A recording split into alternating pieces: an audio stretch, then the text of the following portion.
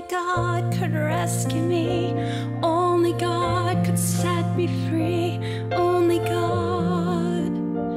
Only God. Only God.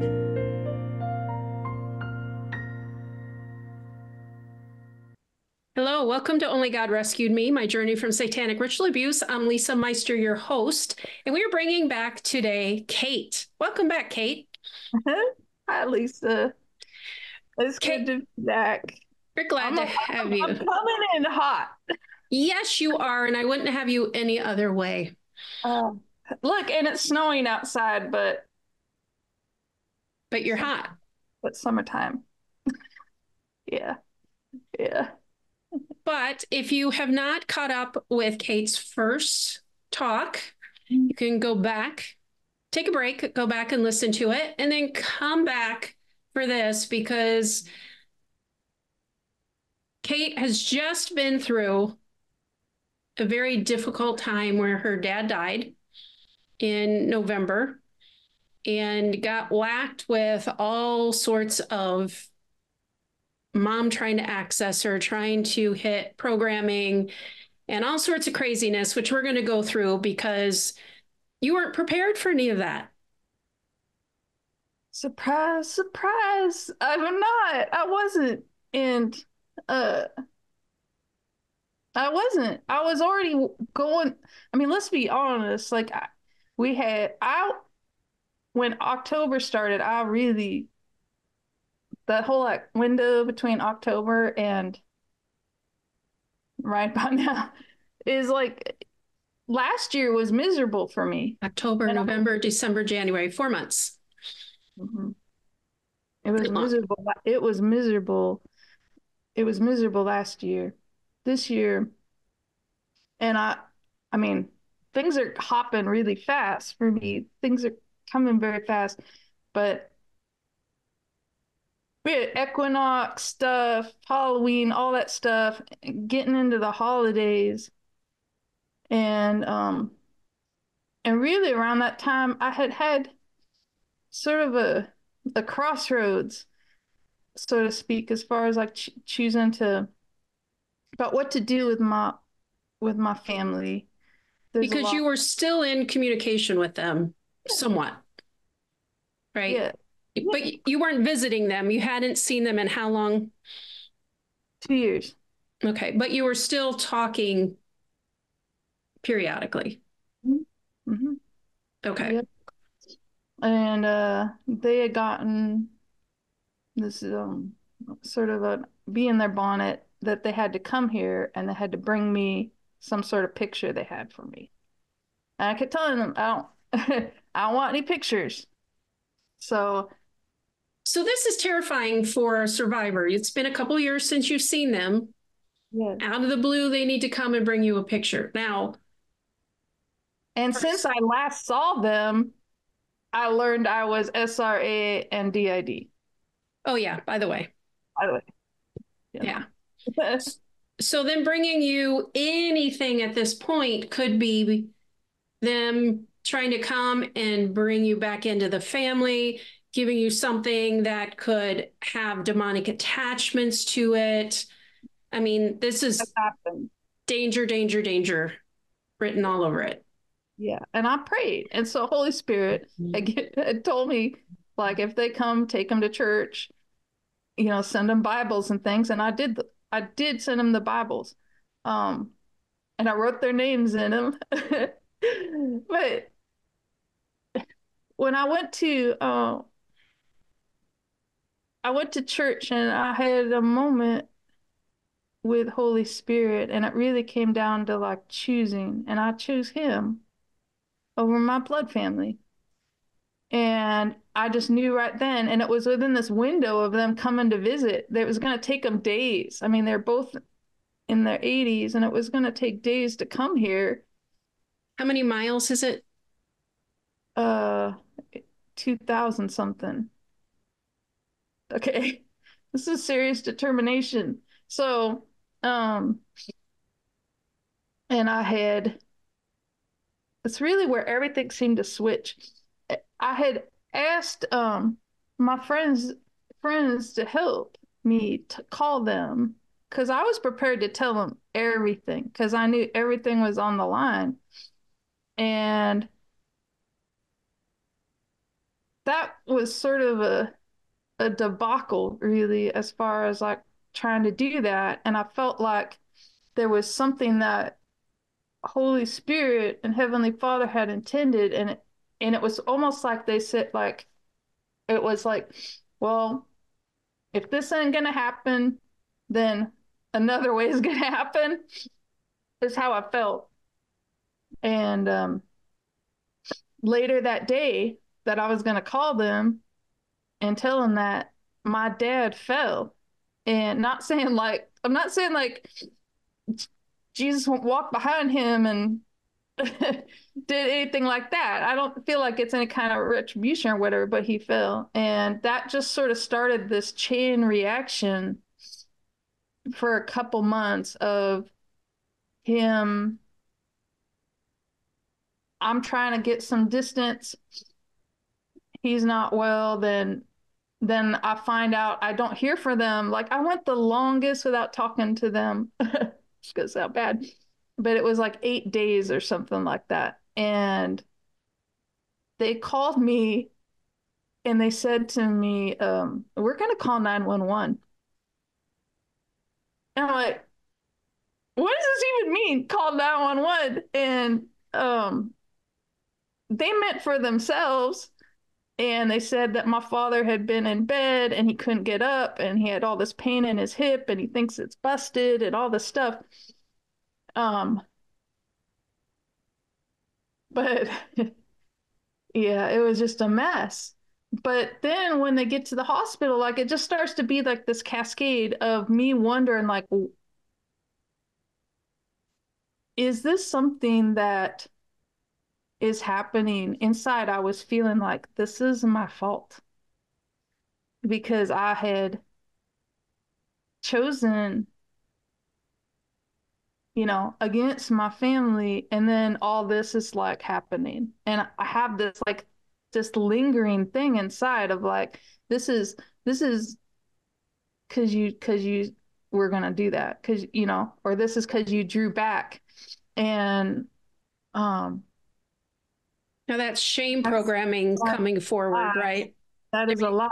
But I'm right. talking about it because I want other people to understand what happens. So you got all this going on and all this stuff with family and your elderly parents and then you have societal pressure from the church that doesn't understand what you're dealing with who might think it's sort of terrible for you to not be there, you know, with the folks. And um when he when he he ended up in the hospital and they couldn't figure out what was going on, all these problems and Holy Spirit told me to not go. And honestly, I think that's how I'm here because I was obedient to that. And that was really hard to resist. The heartstring pull, the loyalty pull that just drives in me that I need to be there, that it's my duty, that I'm supposed to be there and take care of the family and do all these different things. Um, that's a big mind trip for anybody. That's a mind trip for a lot of people who maybe have like a difficult relationship even with the end of life with a mother or father that maybe you've had h- hard times with just you know in regular life that's hard. But it's doubly so with the kind of programming that you have inside that is kicking off that is driving you. And um he made he made it through that first one and then put him in rehab and he just was sort of not advancing very much. Um, and that's where i started to get really see also like how my mother is. Because let me tell you, just a, a heads up, it isn't just me going through this when my dad died. Like it kicked off stuff in my mom. And she got programming and it kicked stuff off. And and it's creepy because she'll tell me things that are going on and she doesn't know where you know she's not in that space yet of survivor understanding but you know i try to tell her she has to get help but it's a lot it's a lot just for anybody so um i recorded a i got a conversation a call from them and it was really weird something felt really off so I started, I turned on the Zoom call because I didn't know how else I'm going to record anything. So I turned on the Zoom and I recorded it just coming on my phone. And at some point, where it was both my mom and dad in the um, facility, rehab facility, um, there was a very weird conversation that I feel was like a coded message with a part because I was backseated when this happened. And so we're I'm talking dissociative part right now. So Kate then is not in charge. And a dissociated part comes forward and having this conversation, and Kate's like, What are you talking about? That's what you're talking about, right? Yeah, I had it recording at least. So I got the whole thing so I could watch it later. And it was weird. And what it is, it's like, I feel like from an outside person, just walking by, they wouldn't think anything about the conversation. They'd think it was just people talking about dogs. Uh, but this part, um, either I think feels relates to dogs severely, uh, like just identifies as with like how dogs are treated and things like that. So the whole conversation, though, was about dogs that are lonely. And do they have a family that loves them? And it was like this whole, I felt like this, the real message wasn't in, it was like talking about dogs, but it was talking about me and how I was, you know, we we didn't have to be alone that they need a good family to take care of them and things like that. And it was like, this is not, this is not right. like, I think I just recorded this happening because I got backseated for it. So, what were they telling you through this message? That uh, I needed to be um, with my family that loved me. So this has been programmed into you when you were little. Yes. So that at this, when your parents at the end of life, the other parent can start calling this into you. This has been programmed. So now we're calling this in so we can get you back. And that's what's going on. Because I hadn't come back yet. Right. Right.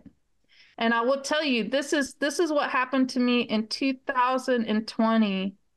Um, with the COVID, my dad went in the hospital. They thought he was gonna die in the ICU, and he was sick for a while. And I would ask, "Can I come home?" And he would say no, constantly, and I wouldn't. And everybody's like, "Why aren't you going home?" I'm like, "Cause he told me no."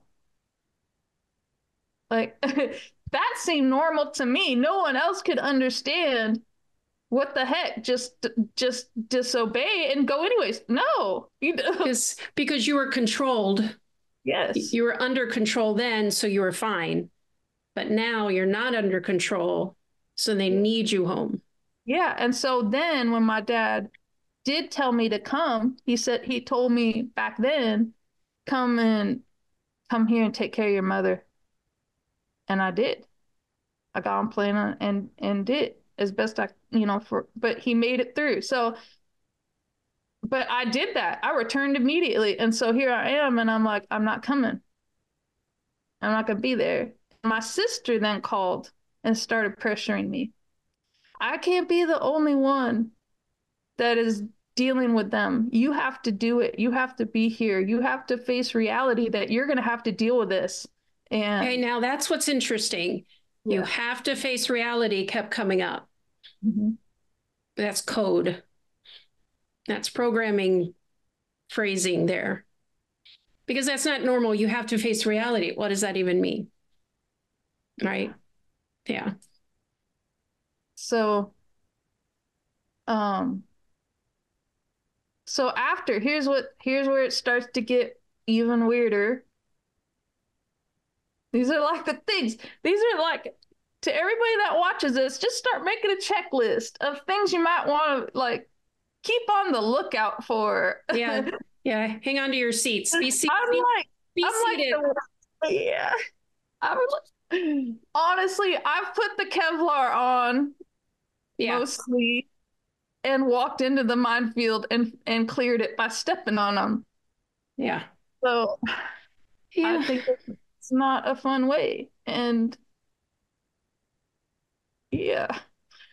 So after that coded conversation about dogs need Which you weren't there for. that I was So you had to go watch because you're like, I need to go home. That's my duty. Right. Because that, that those were our conversations. How can I not be there? What kind of a daughter am I if I'm not there? That's my duty. That's what, yes. Yeah. I mean, I promised even. I have taken back that promise, but I had. I promised that. So, a couple hours after that conversation, m- my dad just crashes. And they take, I get a call from my mom that he's crashed. They're taking him to to the ER. There's there was all this problems, and they couldn't get to, you know, up in the northwest. They'd go to this other one. They go to the other one. Um, and I'm starting to think like, like, is this like a a? Are they like? I felt like they are hurting my folks because I'm not there because I'm not coming back. It's how I felt Sure. because it just, I mean, the time I started to pay attention to timing of things a lot, and especially, and this has been very hard, but um, so then he wasn't doing good. They flew him, airlifted him, uh, to a, a, a like a heart intensive care kind of thing. The goal, the, the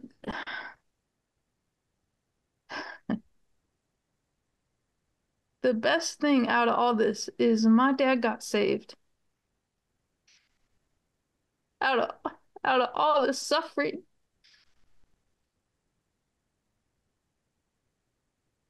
My dad is a thief on the cross.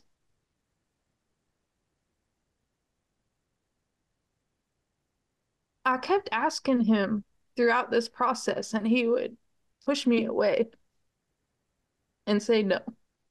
And some other time. And uh, I asked him if he'd accept Jesus in his heart, and he did. And I prayed over him.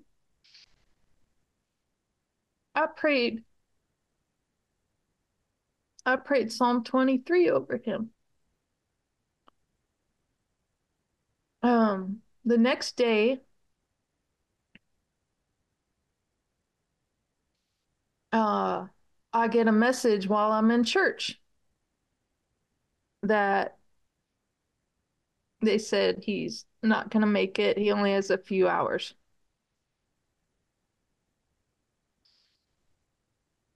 I should have known. I should have known that we're sort of hard to kill a little bit, but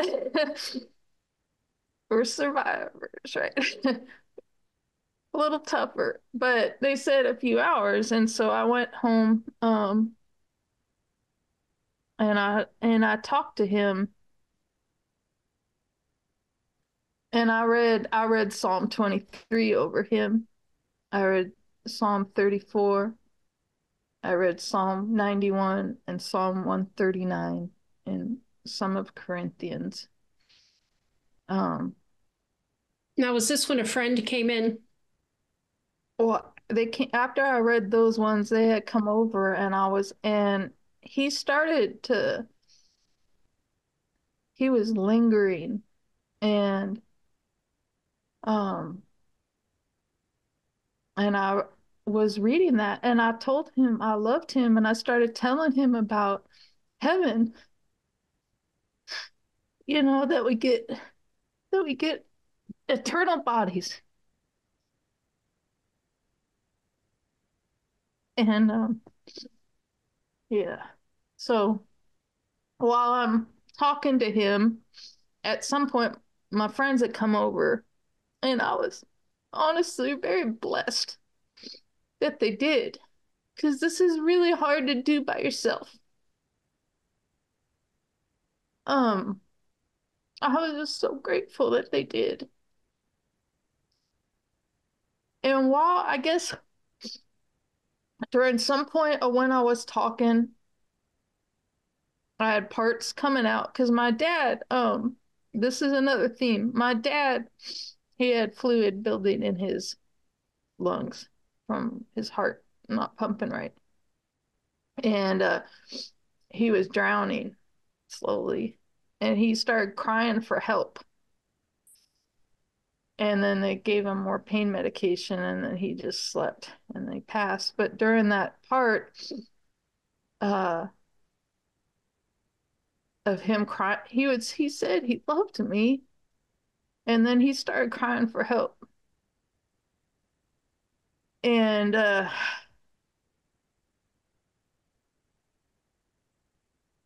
I guess some part had come out, and my mom had another coded conversation. I don't know how, this one, I don't even know the words, but essentially, she said a bunch of stuff, is what I got told. That she has said some things whatever part of me was repeating them back. And then at some point she said, and then we forget about it or something like that. She said, You will say, I will forget. And then you said, I will forget. And I forgot. And you forgot. I forgot. which I've heard that same phrase from other survivors. Really? Yeah. It's programming. Yeah. Because your friend called me and filled me in on it. Yeah. Yeah. It's funny how this works. So then it so then this amps all this is all amping everything up in the danger levels this is getting more dangerous now as each thing is happening. And now she has called in programming that we don't know what it is. It yeah. could be suicidal programming. It could be going back to the family programming. It could be going and taking over for him programming in the group. Yes. I mean, we really don't know what the programming is because we don't have the playbook that mm-hmm. she just called in. And I know, like, when I talked to my coach, she asked about like a mantle that's passed. and I think Holy Spirit saw into that. And I also think one of the reasons that this has been such an excruciating journey in a way for me, I think also from the enemy, is my dad got saved before he passed. So, and I know this, and I'll tell that a little bit later how I know for sure. But I mean, I did feel it when he when he accepted that. I felt him get washed white as snow. Oh. I felt it, and and Holy Spirit has. I'll talk about that in a, a little bit, but but yeah, it's you don't you don't know you don't expect that that's necessarily going to happen like it is. How am I supposed to know that? Well, you're not. And if, Yeah. if that person hadn't walked in and seen it, Yeah. it's gone from your mind because they just erased it. Yeah. Who knows what would have happened? That's true.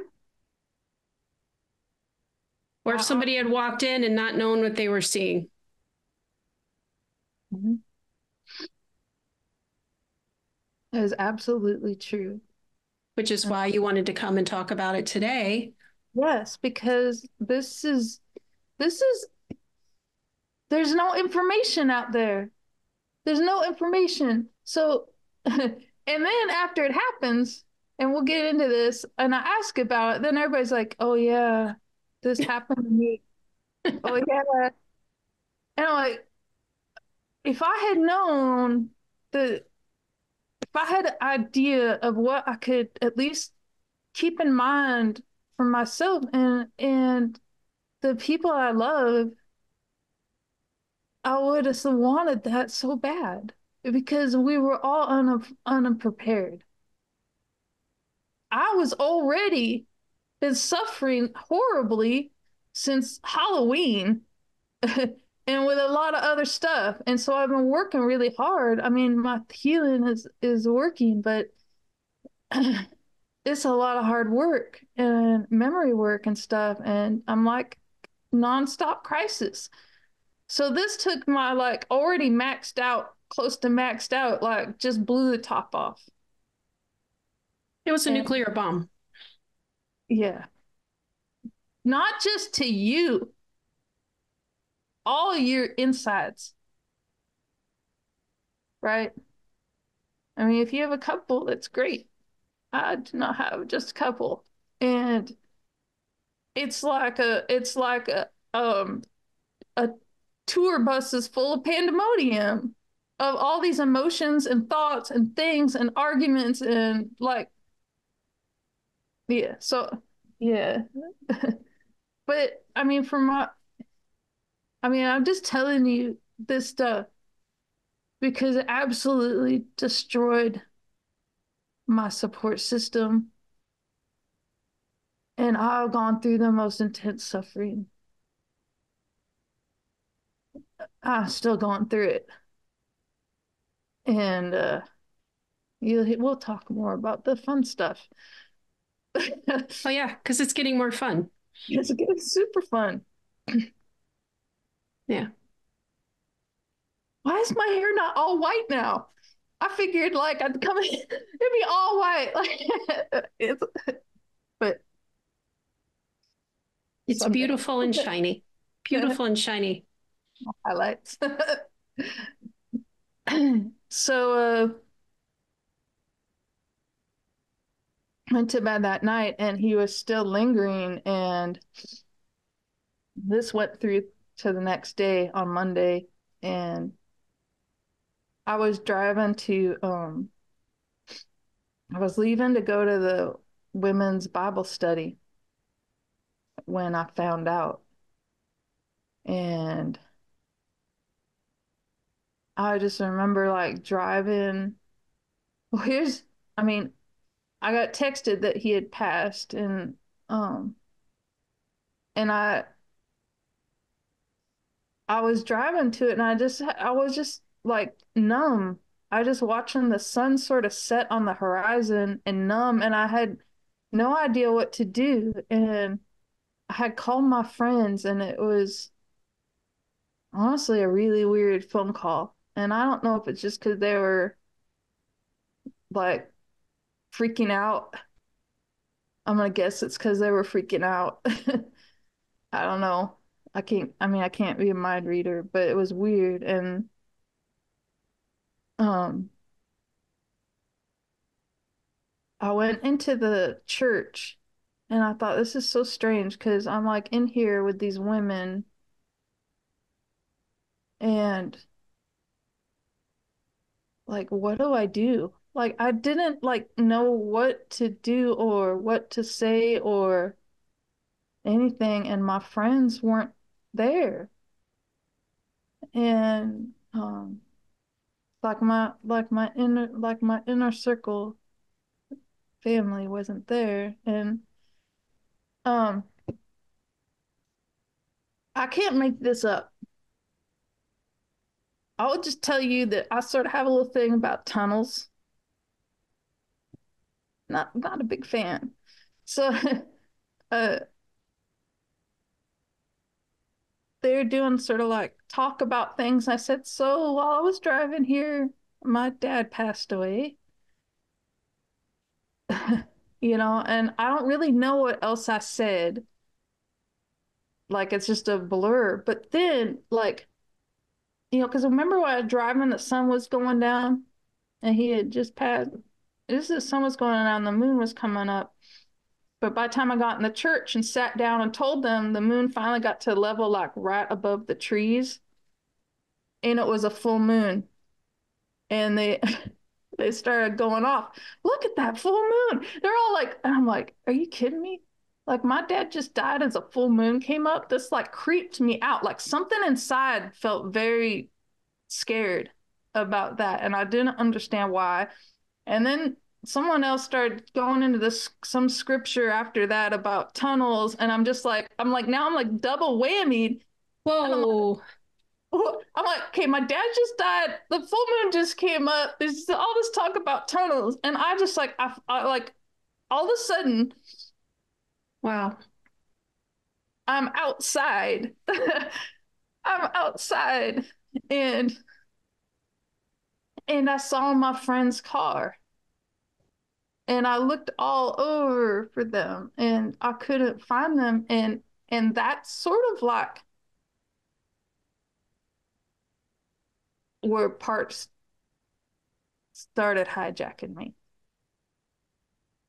I think that's where you talked to me. You were at Sonic when I caught up with you, I think. Yeah. Yeah so when you're when you're in Sonic and a part is talking to me, I know you're not doing well. I have such a, a blessed friend who has been every time parts come out, she's like, baby, you need to go to Sonic and get something to eat and get yourself a grape slushy. To the parts. And so it's almost like a training in a way when like things are really messed up. Is like I end up at Sonic with a grape slushy it's safe and it's well lit and there's snacks. So, I mean, uh, yeah. Yeah. So you weren't doing very well. I don't remember it. So I can't narrate that part. Let me tell you. So you wanted to go home and see your mom. and I'm like, yeah, that's not a good plan. Yeah. But you love your mom. I'm like, well, your mom's not real safe right now. Yes, she is. It's like, hmm. You know, it's like, well, you know, let's let's do something else. Well, what else can we do? You know, it's like, what are you drinking? Oh, I have a slushy. What, you know, what flavor is it? Uh, you know, how much is left? You know, let's take another sip. You know, and then why don't we go home? Well, I don't know where home is. Could you put it in the GPS? Do you have a GPS? Yes. Okay. Put in home. Okay, here it is. How many miles is it? 2,000 miles. okay, that's the wrong home. Is there another home? And then I think it was the red line or the blue line. Which one was it? Blue line. The blue line. You said the blue line. I'm like, blue line. The blue line. Try the blue line. And so we, how many miles is that? 11. Yes, let's go for the blue line. Let's go for the blue line. So we get there and you're like, this is not my home. Absolutely. You were convinced it was not your home. I'm like, well, this is where we're staying tonight. And you're like, I hate it here. Well, Oh. It, it's I think it's beautiful. You've you know your tabernacles here, your pillows here. Fred is here. Fred your frog. You know, it's a really nice place. Mm-hmm. I don't know why I'm here. You know, and we just had this conversation, talking you into the house, getting the door closed. You know, just getting you in safe, talking in. And this is three hours within three hours after my father. Yeah. And my whole thing is how do we keep you there? Because you're six hours from me. I can't just show up at your door and keep you safe. Yeah. It's like, how do I keep you from jumping back in the car, traveling 2,000 miles away?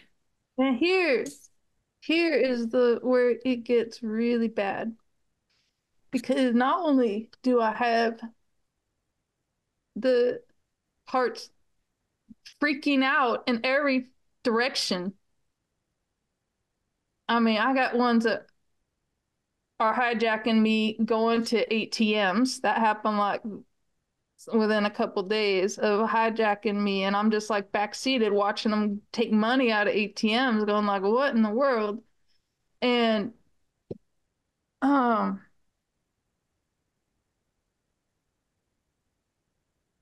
so many, so many parts just not understand, like just trying to understand and trying to like this whole all of this stuff is just like also just it just exploded really, and I had no clue of like it's sort of like when you see videos of like a tsunami and you see that person out on the beach, you're like, you gotta get out of there because there's like this thing coming.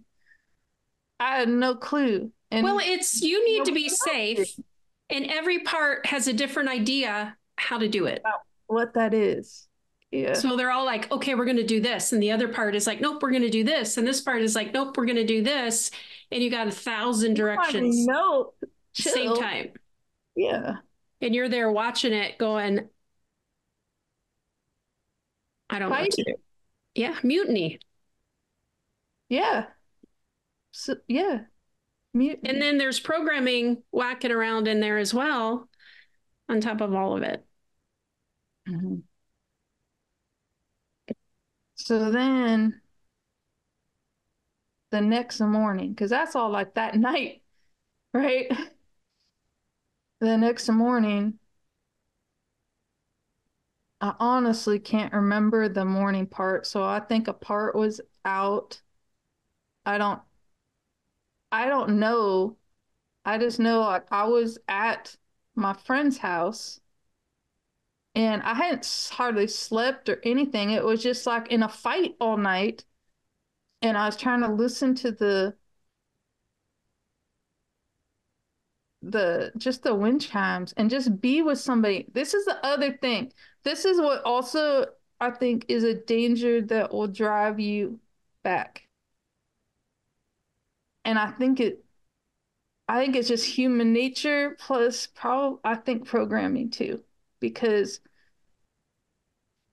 all I wanted in like almost like a hunger, like when you get hungry and you're famished and you just want to eat something, like you just start, you're get something that to be in the physical presence of people that I loved and felt safe. It it is like a primal, deep drive.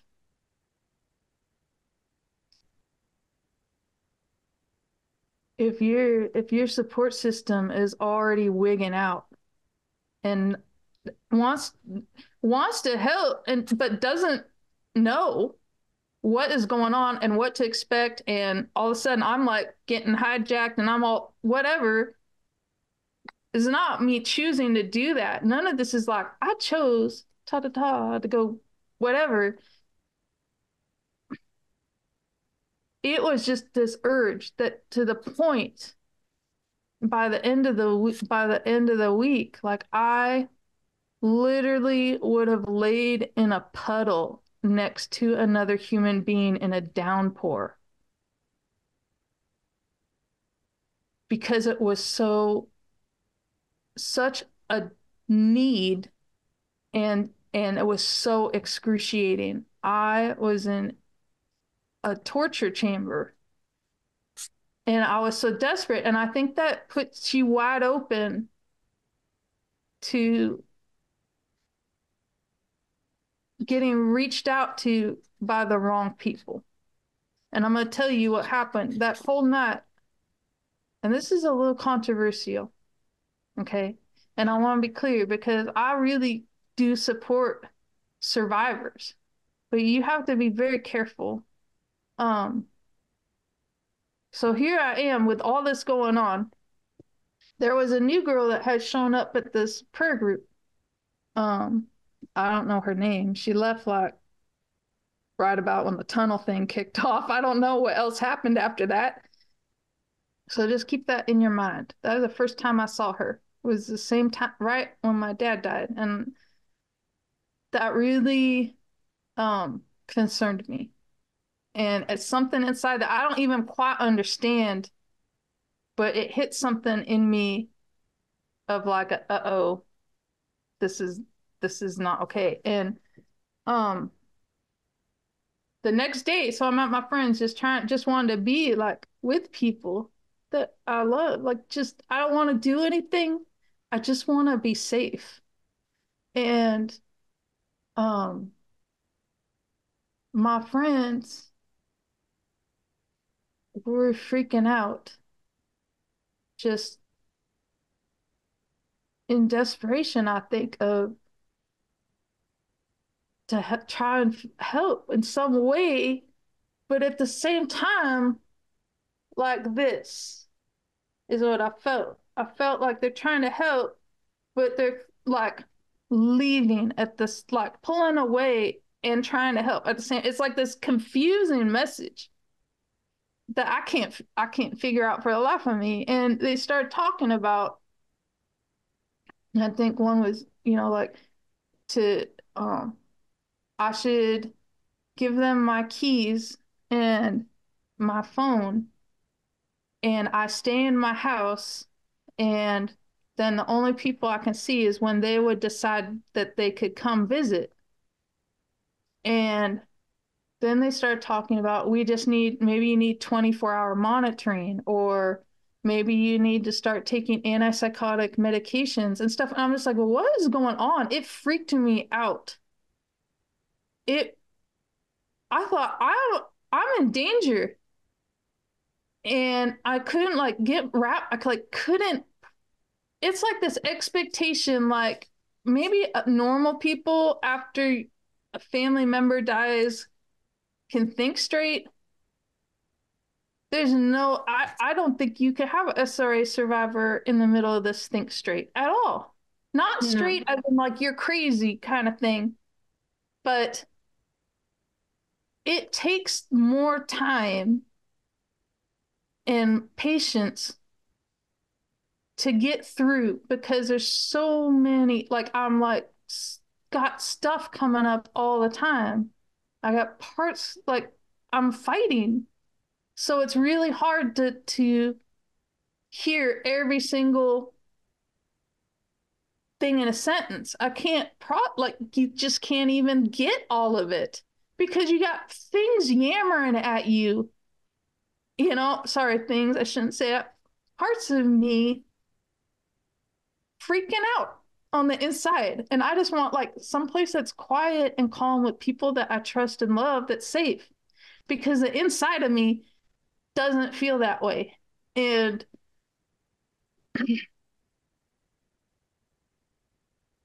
all I know is I ended up in my truck I started feeling scared and I ended up in my truck and I ended up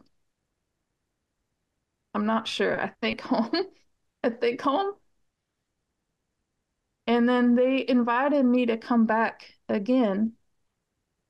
And I came back again and just went back to sitting where I was and just trying to be quiet and not bother anybody. I just needed to not be alone. I felt like targeted and this is where things started getting really weirder for me.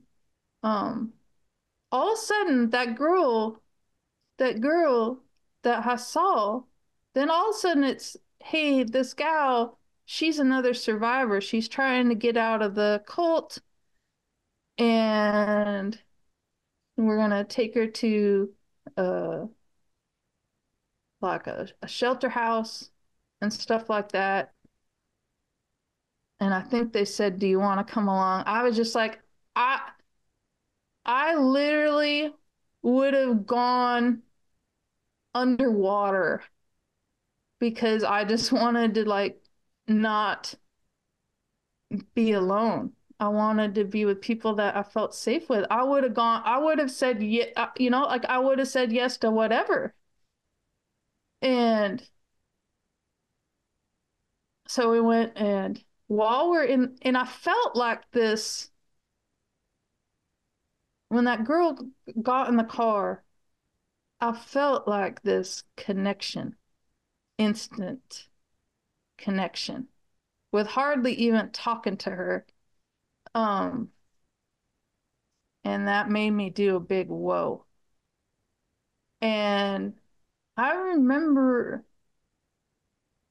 what do you mean, whoa? Like, what were you thinking? Like, this doesn't feel normal.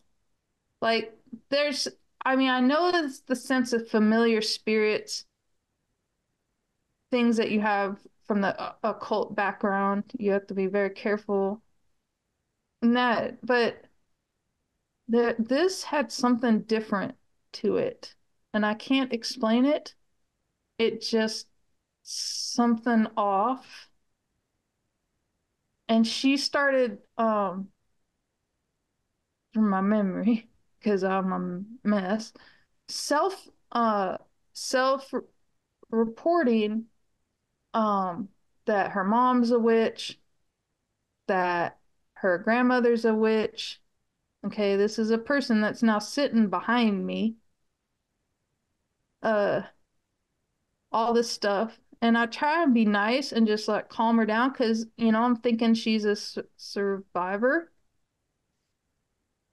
and I really don't. I would say that she's a survivor that is still active in a coven, is and I feel like she.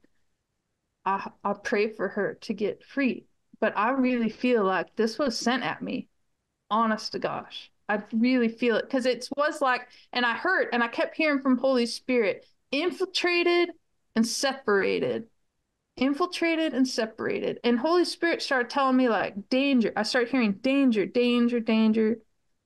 Um, and um,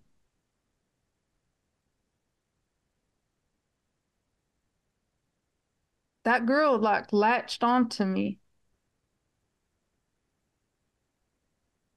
and uh, I try to just be nice and stuff and be supportive because I want to help other survivors. You know, because I know what it feels like and to go through all this. I'm I'm not that far out of it. And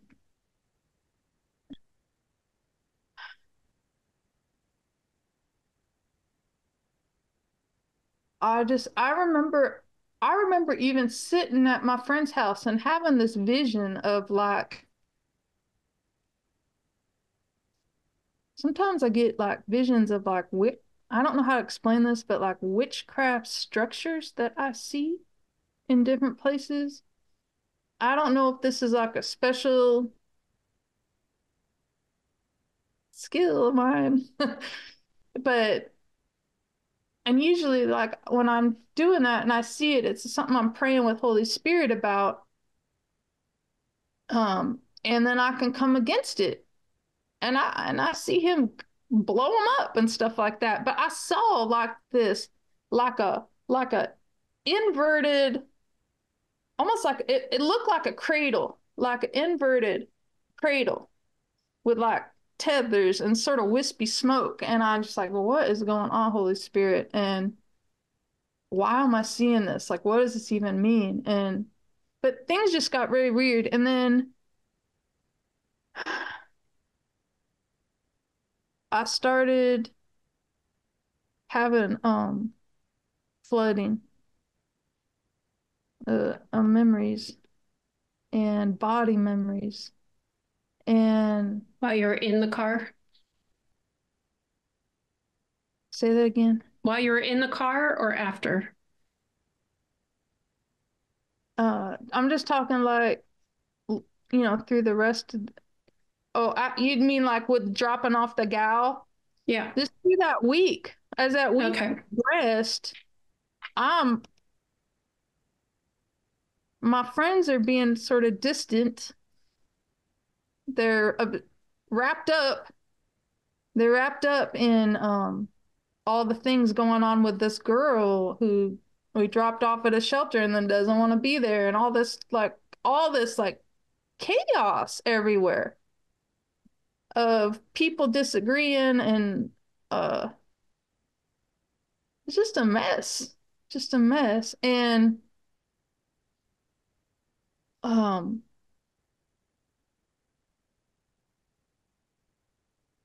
I started having uh I started having flooding fairly quickly. Um and I'm still having it. I'm still in it. Where am I? This this started the day after Thanksgiving, right at the end of of November. So first week of December. Here I am, 18th of January, and I'm still having flooding. Wow. And so, I mean, in a way, this is this is all pieces of my life coming together. But you need to be prepared for it because, and I think this happens in a way that this is my own hypothesis. So, you know, please, lots of salt. A K-toposis. yeah, I like that. I'm not gonna try and say it, but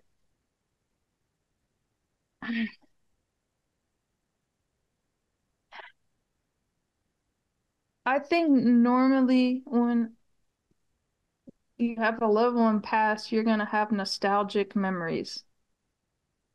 You're gonna think about things. You're gonna replay things in your head. I think that's just sort of a normal thing. But I'm telling you, this is on a whole no another level of messed up stuff because I mean, I I've lost count dozens and dozens and dozens and dozens of memories all about my father. Well, not all about my father, but a lot of stuff that has big things um that I didn't know before. That all of a sudden apparently now it's okay to come out forward with all at once. And I honestly think it's it's programmed to do that. I think it's programmed to flood you in such an intensity. And I'm going to tell you, it drives you from your attachment system. I feel um, and experience waves of physical torture. The physical torture started the the night that I was my dad was dying in that hospital. I started having physical torture and it's it is an excruciating experience for me because I like it just doesn't stop. You know, it doesn't it it it, it gets like to the point like I just want to claw out of my skin and I'm willing to like whatever to solve this issue to make this stop. Do you think this is pushing you to suicide? I think it's pushing you to go home? I think it's pushing you to kill yourself or get back. That's what I think. It's designed, I think it's designed to destroy your support structure and leave you so alone and hurting that you just go back to make it stop. It's like a like like having your foot in a trap. You're gonna gnaw it off to get out of the trap Right. that has to be that bad. So, um, I, my friends were distant, and I was trying to reach out to the church, and it was honestly the most disappointing experience for me as a Christian. And I think it was uh, inadvertent in a way with my friends because the church, the people at church, and this is, I literally had to beg. I literally had to beg in the women's Bible study Christmas party for people to to be with to because I still had this in, this intense urge of being with somebody, another human. Like I I couldn't handle it. It was a torture device for me. And the I think the people at church assumed since my dad passed that my friends that they think they think that I'm and they've told me this. Well, we don't know that you're that you need anything because we always figure you're with so and so and you're good. That they're there and you're over hanging out with them all the time and you're doing all this. Well, I wasn't. And so I my support system freaking out, pushing away, right? And the church doesn't know. So they're not, and they're uncomfortable, and I probably look like a mess. So that's what's going on. And church is hard for me. I do, I, I can be much better outside of church or a church. You know, there's a church in Texas that I went to that looks like the inside of a barn. I go to church and it's like a battle for me. So I think it, it's very hard for people to understand what I'm dealing with. So the um the day the the first Sunday after my dad died was com- was communion service. And you know, and it's whatever. okay, we're gonna do communion and um I just prayed with Holy Spirit and I I did my best, but like everybody said I did really good that I didn't get up and leave like I normally do and just go sit. It's because my legs wouldn't work. Like That makes it I hard. couldn't. My legs, you know, like fight or flight or whatever, like my legs would not work. I was stuck to that chair and I just endured it. And they were having a, a altar call or something like that, and I felt like maybe I could go up. I hate, I don't like going near the altar. It wigs me out. I don't call it an altar. I call it the stage. Okay, the stage. I like No, that. but- I'm just saying if I call it in my head a stage, I can deal with it. If in my head it's an altar, I'm just like, I'm not going there. Yeah, well, that's the word that gets used, and so that's very hard. And I got up. This is the weirdest thing. Like I got close to where that whole area opens up in the aisle, and this man, um, that I know, and that I know and and and like, like he comes up to me and goes, "Whoa!" He does this. He does this yell, and he has this look, and I see like you know he's got a beard and this bot, you know, some body hair. Whatever it is about that yell, and the look he gave me, I was instant. I was in in flashback. I saw that look, and I just remember like I pushed him away at first, and I started switching. Like I push, and I, I'm like, I can't believe I just pushed him away. Like get get away, and I and I already felt like parts coming out saying like I don't like him. And my friends are saying, well, it's just the enemies saying that's the enemy because he's you know has Heavenly Father's anointing. And I understand it now. Like they're telling, they're talking about what I'm about to get walloped with. And I got walloped. I remember looking at my friend and I and a man, um, another man that I actually really like came up. So I had a man here, my two friends. The pastor come up with he he came up holding a cloth, a white cloth. I'm sure he's going to put oil on it. All I like it made me think of like put over your mouth. I had this group of men, and he's coming at me with that cloth, and I, and I thought he's gonna put that over my mouth and and ether me. That's like I heard this. My my other friend came up behind. There's another man, and behind me, and that's where uh, I'm suddenly not in the church. I'm suddenly in this hallway with these men trying to get me down into this room that has not good things in it. And I just remember it. I mean, I'm like in the, and it's like in a, like this hallway and it has like a blue light. And I'm just like, I start running in the hallway, but I'm in the church. and then I I must have got past it enough, past the guy behind, you know, past him. And then all of a sudden I'm standing there like in the aisle and I and I just see like my chair and I just like I go to my chair and I just sit down. Um well that really led into a lot of like it, it that was something from a memory that I had started having pieces come out of. Some more pieces came out. And then the next week, like I still like struggling to to find anybody that cares, really. And there were a few people and I hung out with them. But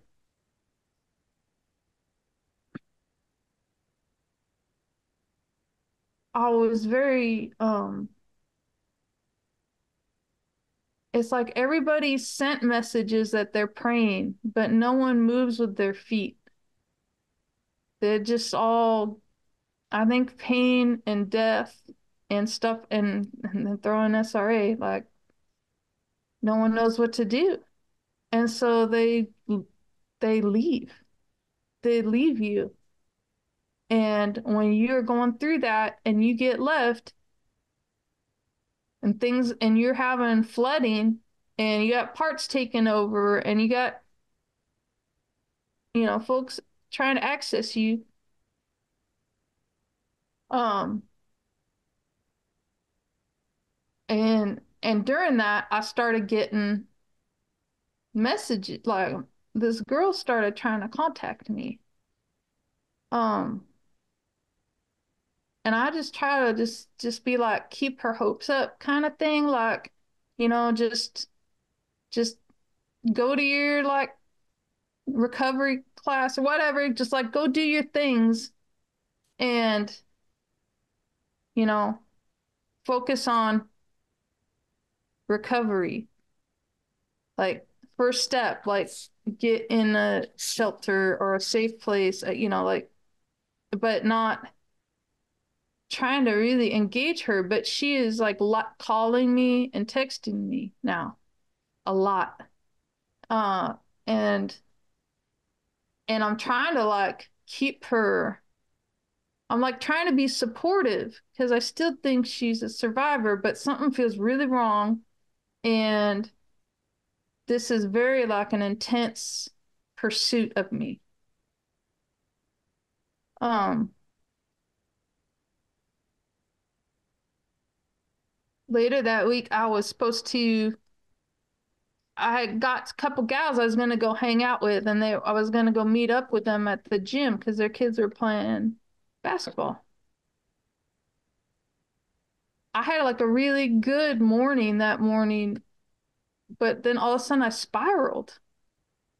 like what why am i what now? Like why do i feel this way? I like told him i can't come there. Like i like there's something about going there and i couldn't figure it out. And the next morning was like the day i meet with my coach and stuff and i was walking in the living room and i looked up but i have like a little cabinet that has stuff from like middle school for my middle school parts with all these um, basketball trophies and i had a memory um of I mean, this is how random stuff is. This is, I think this is just like, well, I don't know. I just know the start of it, but, or the, I only know this little part of it. It, I was in the hall closet of the gym with my basketball coach.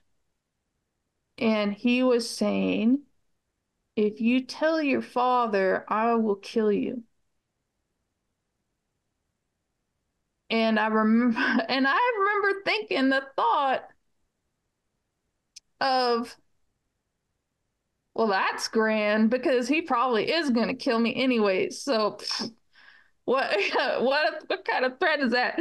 But, you know, you can just join the club get in line. Uh, yeah, Kill Cake Club.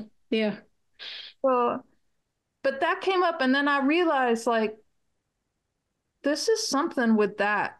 This like this is something with that, and so in my session that I had that day, like we tried to deal with like the previous flashback and this whole gym thing, and this stuff just like trying to process this and um I went to church that night for the Wednesday, for the Wednesday service and it was in the it was in the gym. Can I just like you want to know how the enemy sets things up for a more opportune time? This is how it rolls where you're already like it's just the weirdest stuff. You can't even make it up. I have a friend who's like, you you should write all this down because and just call it like a um, you know, like a story or whatever it be, like a bestseller. No one would think this was real, but it is. So uh I'm with my friends and uh I'm sitting at the table next to that gal who's now with my friends and I'm sitting next to uh some people that have Masonic family history that have the especially the man has something manifested when he had told me that that um he had a family member that was like a 32nd or 33rd degree uh something came out of him. He like like his whole face changed and his voice changed and he said he didn't do anything with it. And i and like so that guy's and and all the basketballs are going like all the kids are running around basketball it's all super noisy. And then the guy comes out it's not the pastor it's the guy it's the guy i shoved it's the guy i shoved so here i am sitting at the table and i'm getting like ping ponged by two traumatic memories at the same time while trying to be cool in church and listen to a sermon. And I can't tell anybody. I can't. There's kids, and everything. I can't tell everybody. I can't tell anybody. And I'm just trying to keep like from falling apart. Right. And and that was really the night that my support system completely imploded because my my friends I think were just done and didn't understand and thinking like I'm doing this on purpose or causing this on purpose and I literally can't control it and I'm dealing with really horrible things. And uh It was bad. It was bad. Um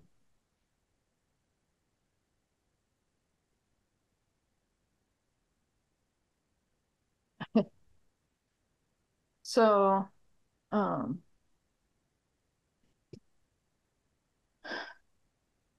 it's very hard because I, I still love them. But things got said that were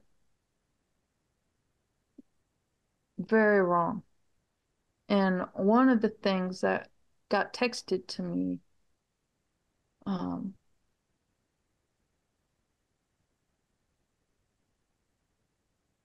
was it's hard with the wording because this triggered me. Um, actually, I forgot the biggest part. I forgot the the biggest part that that threw that off. It was that gal. So that night, that night after um, you know, I, I got home and then the next day uh she texted me that she was going to a, a coven meeting and they were doing a moon ritual. Can we go back to the moon that happened when your dad died at the church? She was at the church both that same night. Yes. Yes. And now here I am, uh, what, like eight, eight or nine days after my dad passed.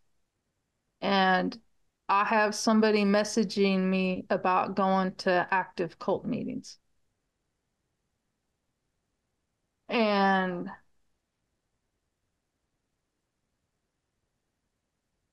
that was like the linchpin for me because I was struggling so hard and I was just in this torture. And now this happened. And it came from someone that had come out of my safety, that came out of my safe place with people I love. I didn't choose to have this person inserted, you know, and I tried to be supportive for someone that I thought at the time might be a, you know, was a survivor. And then when I get that message, I'm like, mm, we're we're in danger. Like it was alarm bells and I mean a major alarm bells in the fact that I literally spent about three weeks every night sitting in that chair waiting for somebody to come and take me. I just stared at that door and just waited after that. And so that girl did that, and I messaged my friends, and it just blew up. It blew up. And the um one of my friends had said something to the kin of like, You're drowning and we won't let you we won't drown with you or we won't let you take us with you or something like that. But I just heard the drowning and the watching. Again, the enemy's opportune time and you're getting flooded um that uh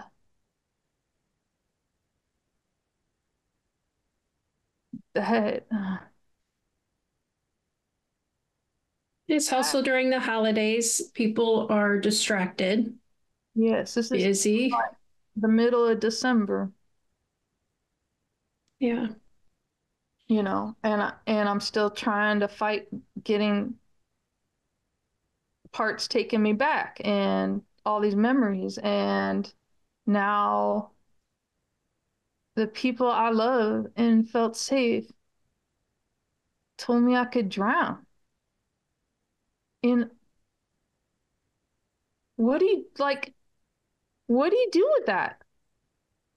what do you do with that if you're no, like a normal person? But I'll tell you what happened to me. Like that someone, a man, a man that I felt was someone, Heavenly Father, you know, a Christian man, a godly man, told me that is so much hurt and shock and and things inside just just by that statement. But that statement that whole thing unlocked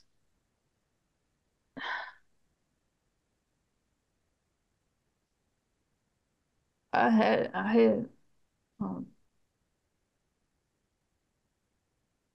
i had a memory of being drowned several of them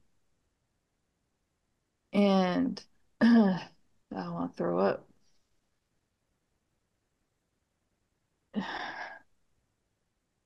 Um, you have to understand that I had had like a lot of things of my father. I had some things, but I'm I'm getting drowned, and there is a man who I think is another programmer or a trainer of some sort. And the one main guy that I knew, and my father watching me. And and I can see it. I can see it from underwater looking up at my dad do nothing and watch Yeah. Yeah. It's going to be okay. Just focus on me here for a minute, Kate. It's, It's going to be okay. Just listen to my voice. I'm I'm I'm can at least talk about it now. Yeah. But it's taken me this long. It's been a over a month to be able to like You're doing really good. Doing really good. But all that pain of the memories and my father dying and essentially a betrayal of trust with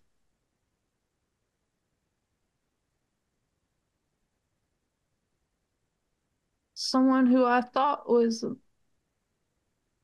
a, a godly man that loved me that said that to me. Like, who does that? Who does that to anybody a week after their dad dies? If they're like even like hysterical, like cut them some freaking slack. Sure. Like,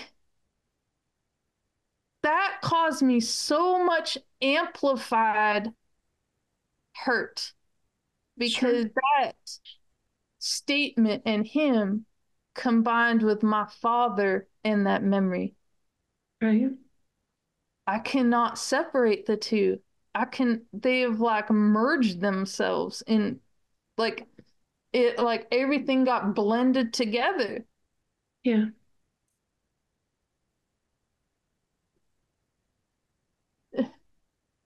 Very difficult for survivors when a ritual combines with present Yes. because things get very convoluted in our minds at that point and the torture comes back and becomes to the present. It makes it very hard to think. It makes it very hard to function. Yes. And I've been having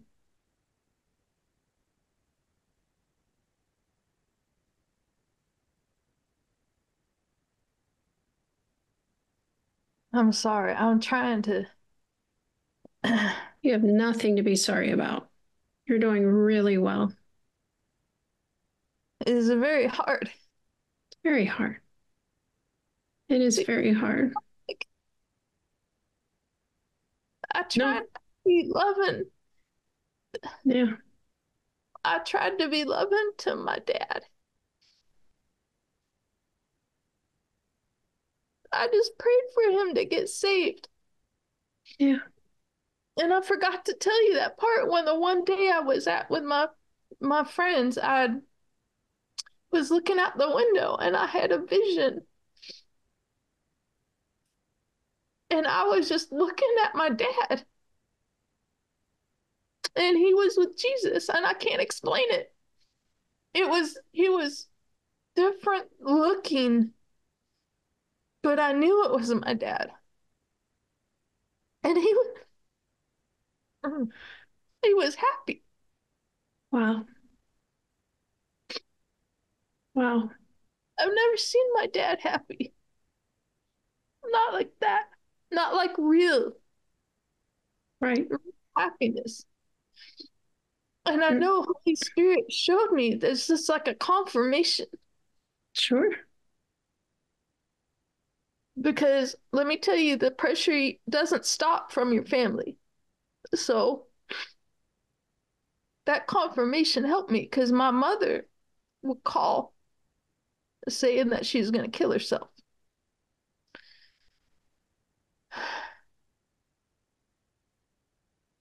Or the I remember after that she said death wins. And I said that's not true. Death does not win because I seen dad and he is in heaven and he is a new body and he is happy. And if you believe in Jesus, that is what you can do, but you have to accept him into your heart. And you know, I think she's working on it, but it's been difficult. And uh how do you deal with that? Right. I mean, it kicks off so much in you. I think just a normal person who would go through that would be have find it very difficult. But to go through that with I mean, I was having memories and body memories sometimes every two hours. I mean, I literally, I've been here for weeks, like just this onslaught, and I spend my time writing it all down because this is all my life that I haven't had access to. I, it's hard to make sense of some of them sometimes. You don't Sure. know why all of a sudden I'm seeing this or feeling this, but like, or I'm having like my hands erupt in blisters all over. And but they're all parts that I haven't had access to in my life. I have I haven't I've had new parts come out and, and memories and they all the memories are just so difficult, but sometimes it's like they start filling in on a, like a timeline. And I Yeah. try and record them all so I don't I don't want my suffering to lose what has come up. Do you Right. understand? Like already been lost to me my whole life. Right. I just want to know what happened to me and I want to heal. But it is so excruciating to go through when you are essentially just scraping by and your support system is blown up and you're getting flooded by everything. I don't know how to do it. But you have done it. Because you called me last week I did. and you told me that you had a moment of warmth in your heart. I did. I did. I experience I think it's joy. I think I think it I'm not sure because I don't think I've experienced before. I that's the other thing. I have feelings come out and with these memories. I don't have words for them. I don't even know how to communicate what I feel, but I will tell you, and I, I guess this is is hopeful. Um, the last two weeks, uh, I got maybe a year ago, I got someone giving me like a word on Isaiah 54, and I believe I read it in my first podcast with you about an uncomforted city that's being lashed by storms and that heavenly father promises to rebuild it and to and promises that no weapon sh- formed against you shall prosper and that you should be vindicated and all hmm. these things um you gotta understand i'm i'm still going to a church with my friends that aren't my friends anymore. And it when i visually see them it causes me pain. So i um it's very hard when you're like four feet away from somebody that doesn't want you in a church that isn't coming alongside you. And I just focus on Holy Spirit. And he has been so good through all this. He has he talks to me and he says that I didn't that I didn't do anything wrong.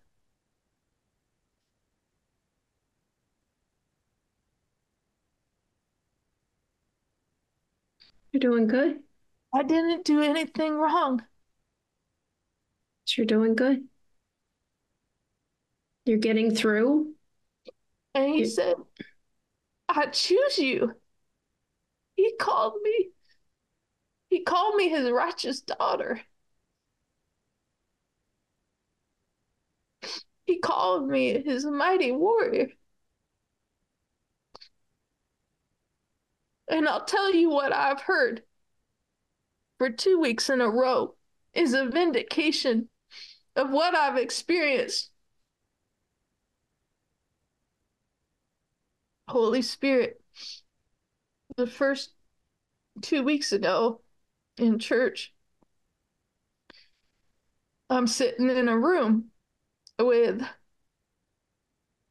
the same people that we're not friends anymore. And uh, Holy Spirit uh, was speaking through the speaker and other people, and it was the same theme over and over for three and a half hours. It came out of the scripture reading, it was in the songs. I mean, you can't like everything, the words that that someone gave.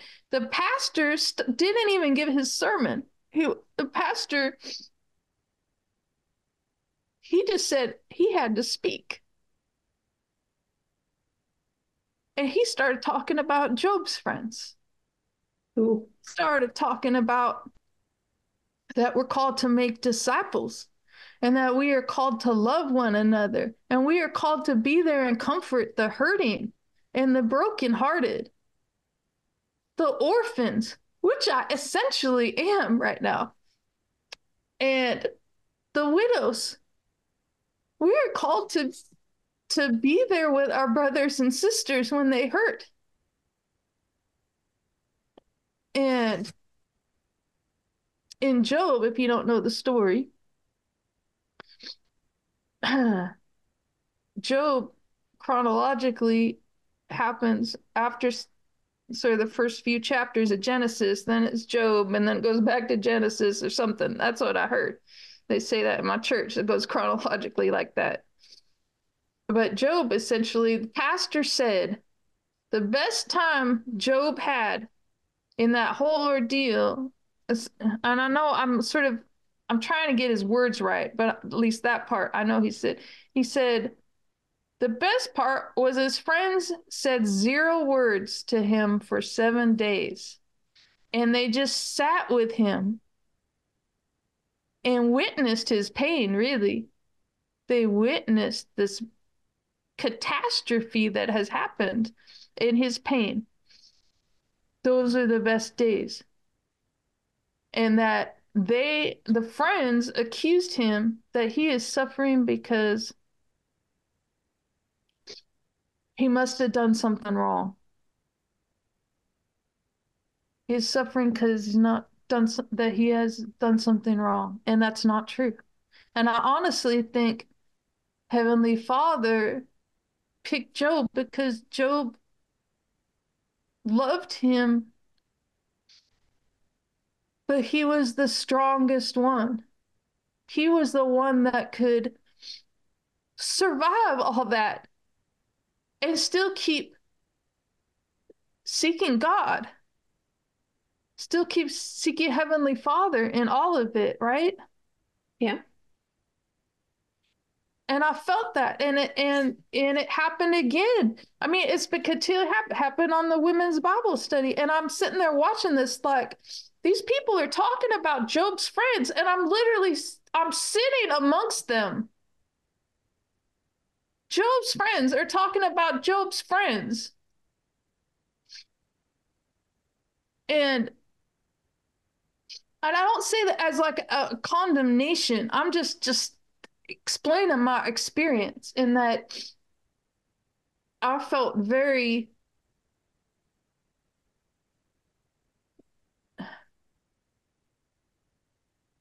forgotten. Yeah. Absolutely. Through the holidays, everything. You know. I had very kind I had um I had a friend that um had sent me a, a present. So like on Christmas, I had actually a present I could open. You know?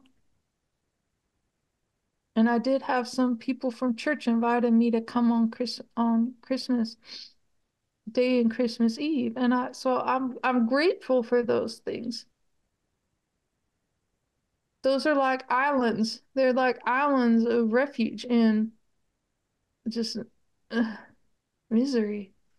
So Heavenly Father talked all about that. And I felt and Holy Spirit talked to me. And Holy Spirit said, He sees you and He hears your cries. He hears them. Yes, and, He does. And He is He is speaking out through the pastor's lips. And I know this because when I try and talk talk with my pastor, he will admit he doesn't understand anything that, that I'm talking about most of the time. But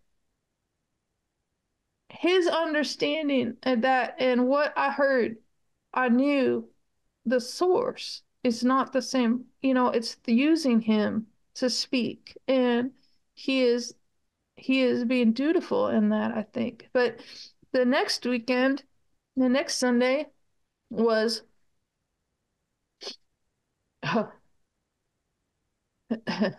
yeah.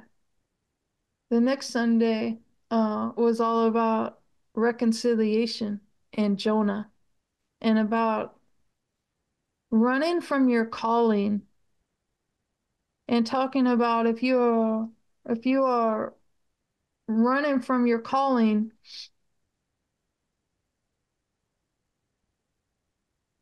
your calling isn't necessarily for you your calling is could be for other people to serve others. So if you are running away from your calling, you are not delivering your gift to the people that Heavenly Father had lined up for you. That's true. And that they that they bear the they they feel they suffer from that. You know, and so he talked a lot about reconciling and and all of this because you know that's something that I had tried with my friends and it didn't go it didn't didn't end well. but uh you know, uh so that's just I just hope like some of this helps people that they can think about this and how to identify it and i'm not judging on um if you have contact or you don't have contact i think that's all up to like each person and and holy spirit and what he has in plan for for them but i think you need to be to have a heads up if you're you know if you have that kind. And I honestly, and and and I did see somebody also said that they had this happen when they went no contact. So I mean, I don't, I don't know if it's just they got different, you know, different people have different programmings or things like that. But I mean, not everybody has the same experience. I I mean, oh, like this is what I tried to talk with my friends about is like they um one is a survivor and she she has a completely different system and experience and programming that she has gone through than than I have. And and that's okay. It's just that we have to understand that there's um things are sometimes really complicated and you know, and we trigger each other and we don't understand what we're dealing with because we don't have the playbook until we go and step on all the the mines. So. Yeah. So be prepared. Be prepared if if you're around a survivor. You gotta have a plan. I think I wish I could have known and I could have talked with my support team and had a plan and I think for support people, don't depend on your survivor to actually be able to figure that out. Because yeah, tell me what you need doesn't work. How do we tell you that? Like I can't figure it out for myself. Yeah. And, and I think it's to have a frank and honest discussion about like we know that this could potentially kick off a bunch of stuff that you haven't remembered yet.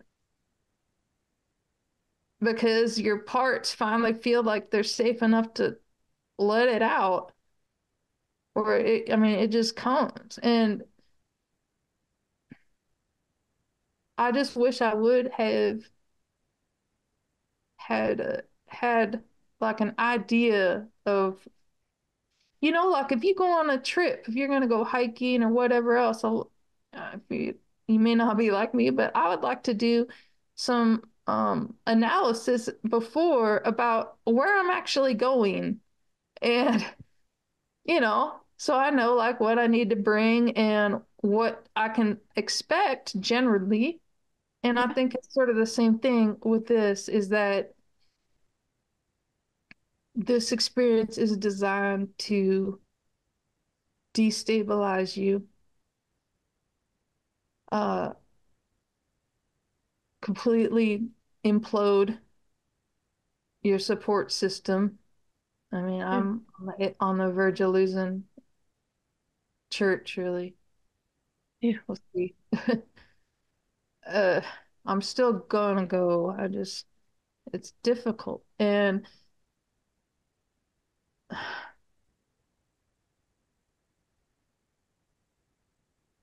it's mind blowing at the what can enter in. Right? So I had memories, I had accessing, I had programming to return, I had suicide programming, I've got I'm not sure if it's punishing programming or what's going on, but this internal torture, I'm attached to people. I have like an emotional attachment that causes me pain when I'm away. I also think that's a program that that that the the longer that I'm away from these people that I feel this attachment, my friends, like I feel physical torture pain.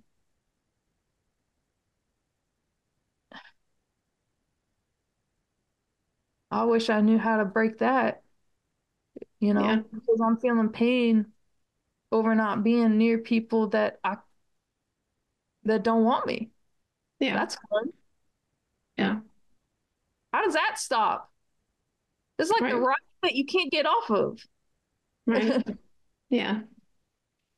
And I'm talking like embarrassing groaning out loud in front of people kind of yeah. Yeah. So we need teams, we need churches that have compassion and understand what's going on, that can go in when a survivor has a parent die and can help manage. and help the support team. Yeah. Help the support team that's in place because you're about to go to like you ever this is maybe this because of my old history, but uh, there was a movie a long time ago, sort of spoof called Spinal Tap, and they they say I'm turning it up to eleven. Like the the knob only goes to like they're trying to get it to the max volume. Like it's gonna go beyond what you anticipate, and it's it's uh yeah it is it it's I mean it's like going through what you went through Yeah. accelerated and Right. yeah Well, I appreciate you sharing this with us and helping to prepare other survivors and helping the helpers so that they can prepare mm-hmm.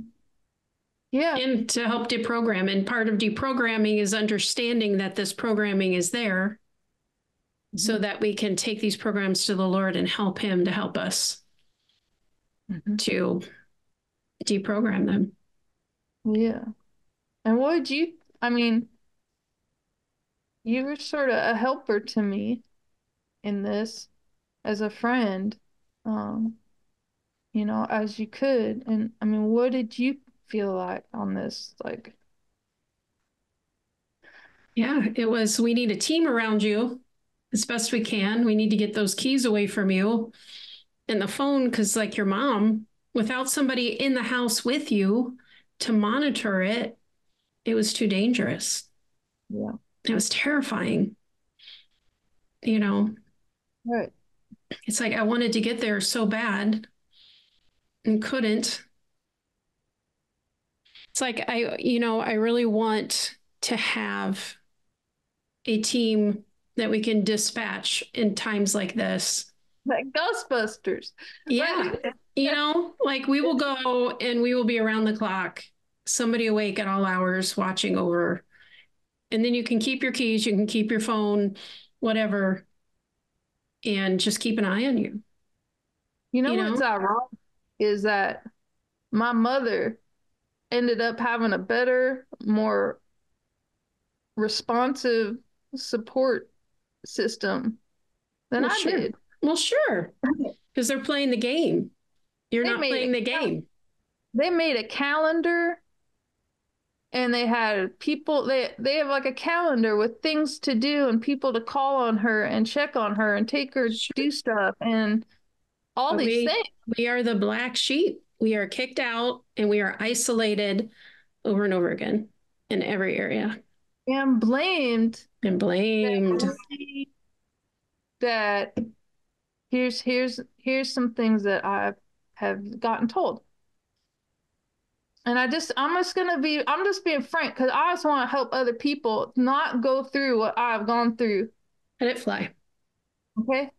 And um why is it that this is what I said, why is it like I'll watch you, you'll be next to somebody else and you'll just be fine. And then you're with us, and then like all these parts come out and you're not like adult Kate.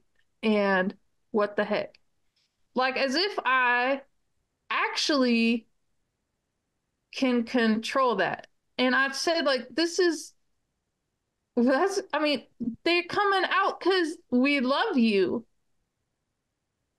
and we feel safe. And they and my parts do.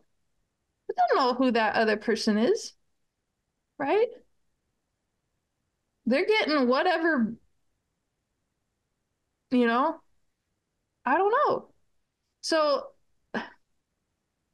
that's one of the things. And then the assumption I think is a dangerous assumption that we can somehow control and choose. Maybe some people can. They can take whatever they got and they can put it in a box and tuck it away and then they pull it out later. I think there's people that can do that. That is not me. Right. my system is not like that. Right. If I had a box, you know how much stuff I'd be I'd be like jumping up and down on the lid with so much stuff that I put in it because Sure. I'm literally having like I mean Holy Spirit told me in September like buckle up you're going to have to write a lot. I thought he was thinking like a blog, not like uh you know, I'm going to have to write 60 pages of memories that just happened in the last 48 hours or something, Right. you know. It- Right. It's that kind of stuff. Or how about this? The church. Uh, you're supposed to honor your father and mother. So why aren't you? Uh, do you have unforgiveness? Yeah. Why Uh, you you know, mom? Well, looking, don't look at what's behind, look at what's ahead. I mean, if he's in the hospital, you should be there. What's the matter with you? Everybody else in the family's fine, Yeah. Right. Or why aren't you calling and checking on your mom? right? Because they just don't get the depths of danger. Because really, you go home, you're handed a nuclear bomb. Here, blow up. Literally, you would be dead. I honestly think like um from things that my mother has, you know, realized that she's also having this going through this and uh, she's completely you know not anywhere close and She was she was calling in programming to you. yeah She's danger. Danger with a capital D. Not good. Mhm. You know, so, and you, when people won't hear, when they won't get it, and they won't listen, you just can't explain it because they won't hear it. They won't get it. I honestly think it's a failure to understand multiplicity and dissociation And mind programming and control, and And- control. the Luciferian system. Yeah. Because and and this is what my coach coaches said like